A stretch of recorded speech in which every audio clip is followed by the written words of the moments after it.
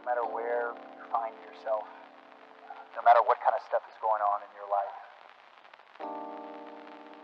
underneath it all, everything's actually all right. You're okay. You have more power than